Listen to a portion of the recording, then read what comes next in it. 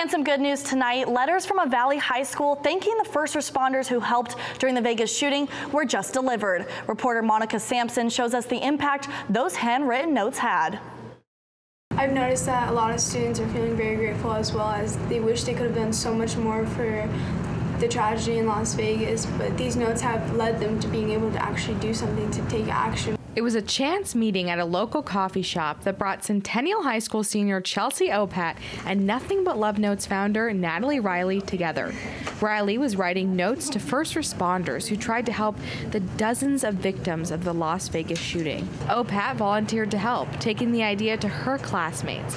A hundred letters turned into more than 500 in 24 hours. It's amazing to know that it spread like that, that there's a lot of love in this world. 1,300 letters were delivered to the Las Vegas Metro Police Department last week. The letters were delivered on a local holiday called Nevada Day. Some of the recipients of the letters were Las Vegas firefighters and local police officers. Nothing But Love Notes encourages anyone, whether personally affected by a tragedy or just wanting to give a helping hand, to write a love note. In Phoenix, Monica Sampson, Cronkite News.